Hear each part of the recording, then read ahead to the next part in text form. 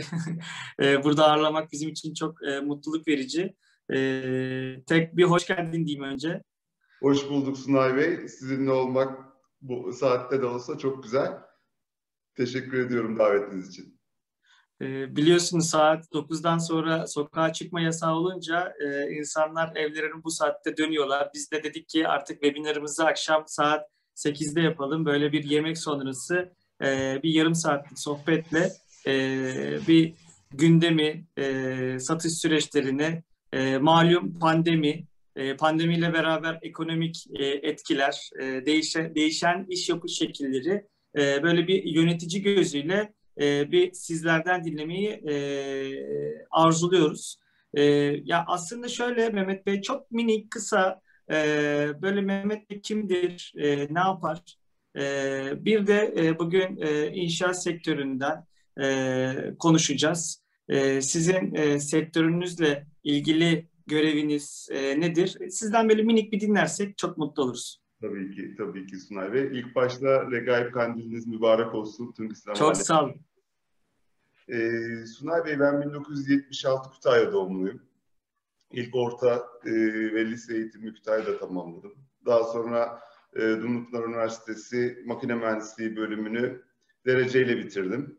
Daha sonra aynı üniversitede yüksek lisansımı tamamladım. Ee, daha sonra e, Bilkent Üniversitesi'nde e, kısa zamanlı MBA e, tarzı bir Turkalite kapsamında 8 aylık bir eğitim aldım. Onun dışında 2004 yılından beri Kütahya Seramik'te satın alma departmanında başlayan görevim daha sonra satın alma müdürlüğüne, daha sonra kurucu başkanımız Nafi Bey'in teknik asistanlığına, daha sonra bir miktar yatırımlar, bir miktar inşaat departmanlarının sorumluluğuyla birlikte e, hayatımız çalışmakla, koşturmakla devam ediyor.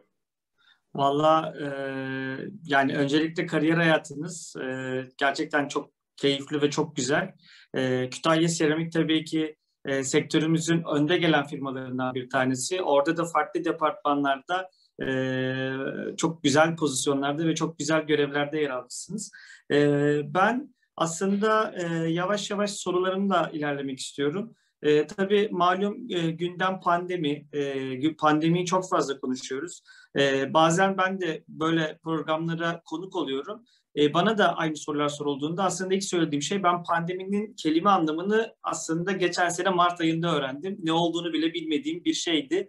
Hani krizler gördük, geçirdik, e, süreçleri geçirdik ama pandemi hem bir sağlık hem bir e, ekonomik e, yani hem ekonomik hem sosyoekonomik e, çıktıları olan e, bir süreçti bizim için. E, sizler bu dönemde ne yaptınız? Organizasyonlarınız, çalışma şekilleriniz ki bizim konumuz biliyorsunuz satış ekipleri. Satış ekipleri bu dönemde e, nasıl reaksiyon aldılar? E, bir sizden dinleyebilirsek mutlu oluruz.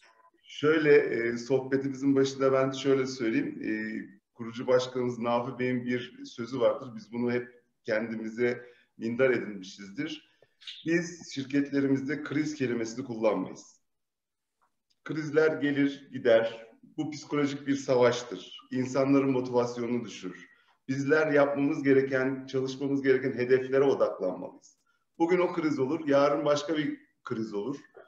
Ee, şu anda geçen bir yıl öncesinde böyle bir film seyretmiş olsaydık şu andaki dünyanın durumunu derdik ki ya ne hamma atmış kardeşim böyle bir şey mi olur? Ama bunları şu anda yaşıyoruz. Pandemiyi yaşıyoruz maalesef. Ee, onun için e, hayatımızdan krizleri, pandemileri çıkartmamız lazım. Önümüze bakmamız lazım. Biz bunu ilk başta hep hedef olarak alıyoruz. Sizin de dediğiniz gibi Mart ayından itibaren aslında Mart değil Ocak başı itibariyle biz e, bu olayı takip etmeye başlamıştık. Bizim çok fazla yurt dışı seyahatlerimiz oluyor. E, ihracat departmanındaki arkadaşlarımız gerek fuarlar gerek e, müşteri ziyaretleri olduğu için biz e, Ocak ayından beri bu süreci yakından takip ediyoruz ve e, şirketlerimiz içerisinde e, doktorlarımızdan, çevremizden ve internet üzerinden öğrenebildiklerimiz kadarıyla zaten biz e, birçok kuralı uygulamaya biz e, Şubat'ın başı itibariyle başlamıştık. Şubat ayında bizim porselen grubumuzun Almanya'da, e, seramik grubumuzun da İspanya'da e, fuarları vardı. O fuara giden arkadaşlarımıza e, temizlik kurallarını, hijyen kurallarına çok dikkat etmeleri gerektiğini, mutlaka maskeli olmaları gerektiğini, e, tokalaşmanın kesinlikle yapılmaması gerektiğini e, gibi e, uyarılarımızı, önlemlerimizi biz e, Şubat başından itibaren aldık. Maalesef Mart ayından itibaren de ülkemize girmeye başlayınca biz yurt dışından gelen arkadaşlarımız veya ailelerinden yurt dışında olan arkadaşlarımızın e, ailelerini 14 gün süreyle ziyaret etmemelerini rica ettik. E, iş yerlerinde e, birçok alanımızı hijyenlere uygun zaten oralara ilave e, el dezenfektanları, e, mesafe belirten tabelalar bunların hepsini yerleştirdik. E, zor bir süreç geçirdik e, ama e, Allah'a şükür e, çok büyük bir e, rahatsızlık olmadan da bugüne kadar gelebildik diye düşünüyorum.